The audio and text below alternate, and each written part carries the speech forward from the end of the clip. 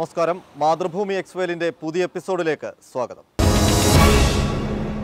ഭാനുമതി കൊലക്കേസ്.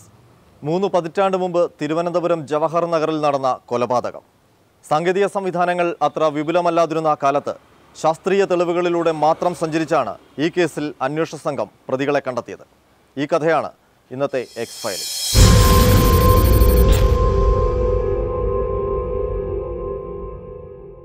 നഗരപ്രദേശങ്ങളിലെ കോളനികളിൽ താമസിക്കുന്നത് നമുക്ക് കൂടുതൽ സുരക്ഷിതത്വം തരും എന്നാണ് നമ്മൾ പലപ്പോഴും വിശ്വസിക്കാറുള്ളത്.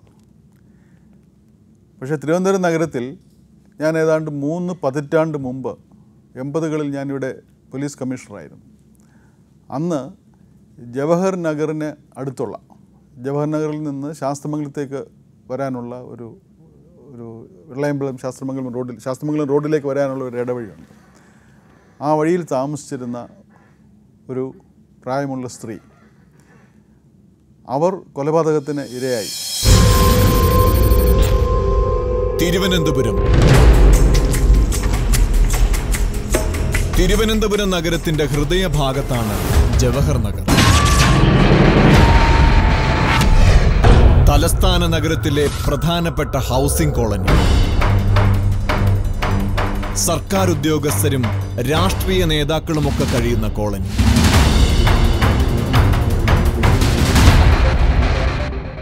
ആയിരത്തി തൊള്ളായിരത്തി എൺപത്തി ഒൻപത് ആ സമയത്ത് ഒരു ദിവസം രാവിലെ കമ്മീഷണർ എന്നുള്ള നിലയിൽ ഞാൻ മരുതൻകുഴി പാലം മരുതൻകുഴി പാലത്തിന്റെ ഉദ്ഘാടനം ഉദ്ഘാടനമല്ല പാലത്തിന്റെ ശിലാസ്ഥാപനം ഉദ്ഘാടനം ചെയ്തത് ഈ അടുത്ത കാലത്താണ്. അതിന്റെ ശിലാസ്ഥാപനം അന്ന് മുഖ്യമന്ത്രിയായിരുന്ന ശ്രീ ഇ കെ നായനാർ നിർവഹിക്കുന്നു എന്ന് പറഞ്ഞ ഞാൻ മരുതൻകുഴിയിലേക്ക് വന്നുകൊണ്ടിരിക്കുമ്പോൾ വയർലെസ്സിലൊരു സന്ദേശം കിട്ടി. ജവഹർ നഗറിൽ നിന്ന് ശാസ്ത്രമംഗലം ശാസ്തമംഗലം റോഡിലേക്ക് വരുന്ന വഴിയിൽ ഒരു വീട്ടിൽ ഒരു പ്രായമായ സ്ത്രീ കൊല്ലപ്പെട്ട നിലയിൽ കിടക്കുന്നു.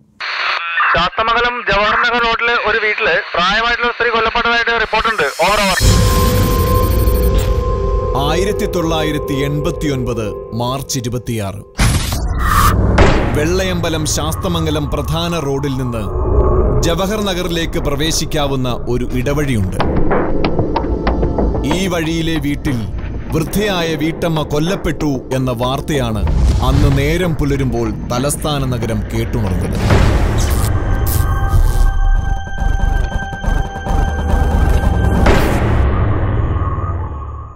ദൃക്സാക്ഷിയില്ലാത്ത കേസാണ്. അപ്പോൾ എന്തെല്ലാം തെളിവുകളുണ്ടോ ആ തെളിവുകളെല്ലാം സംരക്ഷിക്കപ്പെടണം. ഭാഗ്യവശാൽ പോലീസിന് പെട്ടെന്ന് വിവരം കിട്ടിയത് കൊണ്ട് ആരും ആ വീടിനകത്ത് കയറി അടുത്ത കാലത്ത് ചില സംഭവങ്ങളിൽ നടന്ന പോലെ ഈ സംഭവ സ്ഥലത്ത് കയറി ആളുകൾ അങ്ങ് പെരുമാറിയിട്ട് ഇല്ല.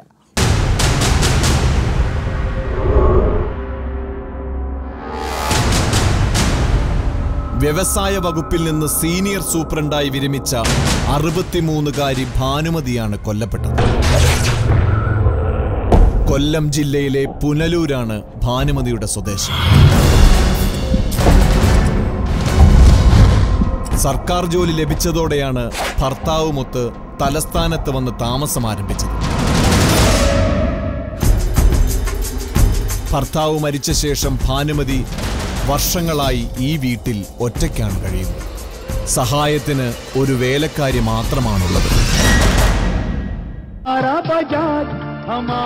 അന്നു രാവിലെ പാലുമായി വേലക്കാരി വരുമ്പോഴാണ് അകത്ത് സ്വീകരണ മുറിയിൽ ടെലിവിഷൻ അഭിമുഖമായി കസേരയിൽ ഇരിക്കുകയാണ് ഭാനുമതി. കഴുത്തിൽ തുണിയുടെ കുരുക്ക് ശ്രദ്ധയിൽപ്പെട്ടതോടെ വീട്ടമ്മ കൊല്ലപ്പെട്ടതാണെന്ന് ഉറപ്പിച്ചു This is Doordarshan News. Welcome in the headlines.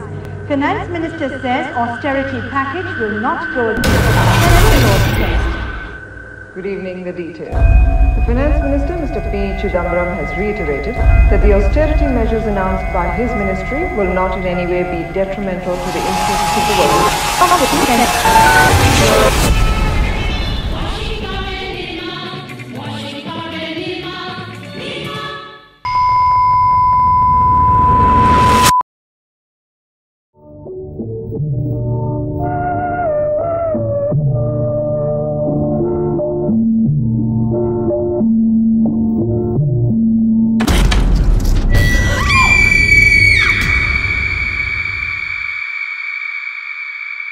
തിരുവനന്തപുരത്ത് ഏറ്റവും സുരക്ഷിതത്വമുണ്ട് എന്ന് ആളുകൾ വിശ്വസിക്കുന്ന ഒരു പ്രദേശം.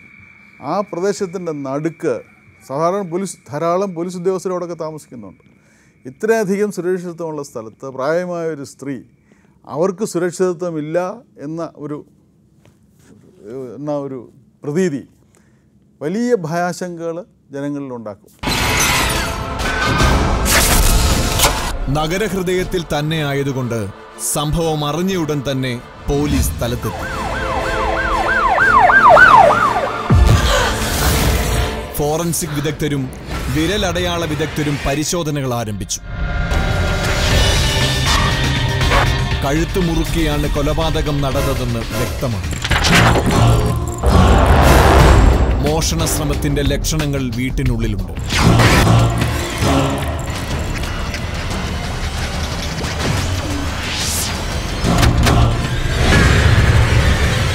എന്നാൽ അയൽവാസികളാരും ഈ വീട്ടിൽ നിന്ന് പ്രത്യേകിച്ച് അസ്വാഭാവികമായി ഒന്നും കണ്ടിട്ടും കേട്ടിട്ടുമില്ല.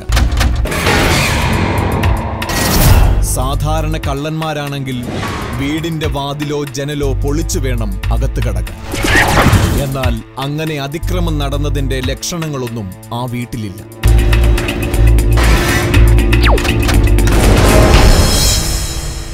ശ്രീ കുഞ്ഞുമൊയ്തീൻകുട്ടി അന്ന് ക്രൈംബ്രാഞ്ചിന്റെ എസ് പി ആണ്. ഞാൻ അദ്ദേഹത്തെ വിളിച്ച് പറഞ്ഞു കുഞ്ഞുമൊയ്തീൻകുട്ടി ഇങ്ങോട്ട് വരണം പിന്നെ അന്ന് പുതുതായിട്ട് ഡിപ്പാർട്ട്മെന്റിലൊരു പുതിയ മെഡിക്കോ ലീഗൽ അഡ്വൈസർ എന്ന് പറഞ്ഞൊരു തസ്തിക ഡിപ്പാർട്ട്മെന്റ് സൃഷ്ടിച്ചിരുന്നു. അതിന്റെ ആളായിട്ടുള്ളത് ഡോക്ടർ ഉമാദത്തനാണ്. ഞാൻ ഉമ ഡോക്ടർ ഡോക്ടർ അദ്ദേഹം എന്റെ സുഹൃത്തും കൂടാണ്. ഞാൻ പാലക്കാട് എസ് പി ആയിരിക്കുമ്പോൾ പല കേസിലും എന്നെ കേസ് തെളിയിക്കാൻ വേണ്ടി വളരെ സഹായിച്ചിട്ടുള്ള ഒരാളാണ്. അപ്പോൾ ഞാൻ അവിടെ ഇരുന്നുകൊണ്ട് ഫോണിൽ തന്നെ വയർലെസ്സിൽ കൂടി ഇന്ന് മൊബൈൽ ഫോൺ ആയിട്ടില്ല.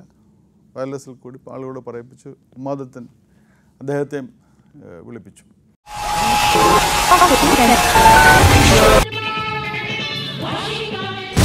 കേരള പോലീസിന്റെ മെഡിക്കോ ലീഗൽ അഡ്വൈസർ ഡോക്ടർ ഉമാദത്തനാണ് പ്രാഥമികമായ മൃതദേഹ പരിശോധനയും സ്ഥലപരിശോധനയും നടത്തിയത്. വീടിന്റെ കുളിമുറിയിൽ നിന്ന് പ്രതികൾ ഉപയോഗിച്ചു എന്ന് കരുതുന്ന പകുതി കത്തിച്ച ഒരു മുണ്ട് കണ്ടെത്തി. ഇതായിരുന്നു അന്വേഷണ സംഘത്തിന് മുന്നിലുള്ള കച്ചിത്തുരുമ്പ്.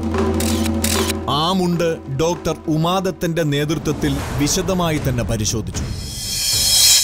ആ മുണ്ട് പരിശോധിച്ച് നോക്കിയപ്പോൾ അതിലൊരു പത്ത് പന്ത്രണ്ട് സ്ഥലത്ത് ചെറിയ കീറലുകൾ പഴയ മുണ്ടാണ്. ആ കീറലുകൾ ഡോൺ ചെയ്തിരിക്കുന്നു തുന്നിയിരിക്കുന്നു. പന്ത്രണ്ട് തവണ ഡോൺ ചെയ്യണമെങ്കിൽ അയാൾ തന്നെ ഡോൺ ചെയ്തതായിരിക്കും. അയാളുടെ മുണ്ട് തന്നെയായിരിക്കും.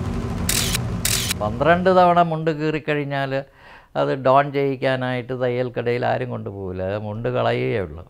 അപ്പോൾ ഇത് എനിക്കൊരു ഒരു ഇന്റ്യൂഷൻ തോന്നിയത് ഇത് ഒരു ദരിദ്രനായ തയ്യൽക്കാരനായിരിക്കും. അയാൾ ഈ ആ മുണ്ട് ഉപയോഗിച്ചായിരിക്കും കഴുത്ത് ഞെരിച്ച് എന്നിട്ട് അത് തീ കത്തിച്ച് നശിപ്പിക്കാൻ ഒരു ശ്രമം നടത്തിയതായിരിക്കാം എന്ന് തോന്നി. മാത്രമല്ല ആ മുണ്ടിൽ നിന്ന് മനുഷ്യരോമങ്ങളും കണ്ടെടുത്തു അത് പരിശോധിച്ചതോടെയാണ് മറ്റൊരു നിഗമനത്തിൽ കൂടി അന്വേഷണ ഉദ്യോഗസ്ഥർ എത്തുന്നത്. കേസ് അന്വേഷണത്തിലെ പ്രധാന വഴിത്തിരിവ് കൂടിയായിരുന്നു അത്. ഈ രോമങ്ങളിൽ ഏഹ്, പ്രതികളുടേതാണ്. രോമങ്ങൾ പരിശോധിച്ചപ്പോഴും ഇത് വ്യത്യസ്ത വ്യക്തികളിൽ നിന്ന് വന്ന ഒരു തോറത്തിൽ വന്നിരിക്കുന്ന രോമങ്ങൾ വ്യത്യസ്ത വ്യക്തികളിൽ നിന്നാണ് വന്നിരിക്കുന്നതെന്ന് ഒരു ഒരു കൺക്ലൂഷനും കൂടി അവർ അന്നേരം പറഞ്ഞു. അപ്പോൾ നമുക്ക് രണ്ട് കാര്യങ്ങളായി. ഇങ്ങനെ ഇവരെ ശ്വാസം മുട്ടിച്ച് കൊന്നിരിക്കുന്നു. അതിൽ രണ്ട് ഒന്നിലധികം പ്രതികളുണ്ടായിരുന്നു. അതിനൊരു കൺഫർമേഷനായിട്ട് ഈ പ്രതികളുടെ പ്രതികൾ ഉപയോഗിച്ച തോർത്തിൽ നിന്ന് കിട്ടിയിരിക്കുന്ന രോമങ്ങൾ വെച്ച് പരിശോധിക്കുമ്പോഴും ഒന്നിലധികം പേര്. അതിലൊരു കാര്യം കൂടി ഇപ്പോഴും ഞാൻ ഓർക്കുന്നുണ്ട്. ഒരാൾ പറഞ്ഞത് അതിലൊരു രോമം പരിശോധിച്ചപ്പോൾ അത് പൂർണ വളർച്ച എത്തിയിട്ടില്ലാത്ത ഒരാളുടെ രോമമാണ് എന്ന് തോന്നുന്നതും കൂടി ഒരാൾ പറയുകയുണ്ട്.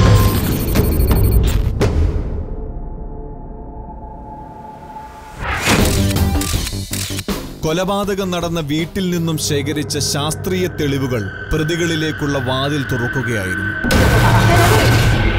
ആ വീട്ടിലേക്കാരും അതിക്രമിച്ചു കടന്നിട്ടില്ലാത്തതിനാൽ ഭാനുമതി തന്നെ പ്രതികൾക്ക് വാതിൽ തുറന്നു കൊടുത്തിരിക്കാനുള്ള സാധ്യതയാണ് പോലീസ് മുന്നിൽ കണ്ടത്. അവർ കടുത്തറിയാവുന്ന ആരോ ആയിരിക്കാം.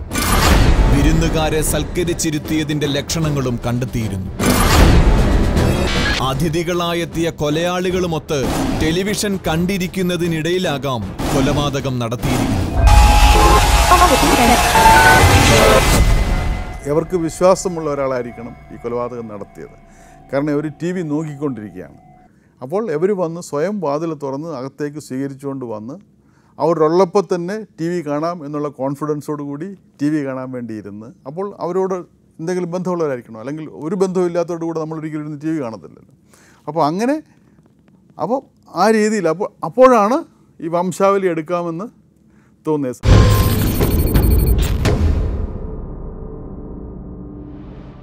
തൊട്ടടുത്ത വീട്ടിൽ താമസിക്കുന്ന ഒരാളാണ് മറ്റൊരു നിർണായക വിവരം കൂടി അന്വേഷണ സംഘത്തിന് നൽകുന്നത്.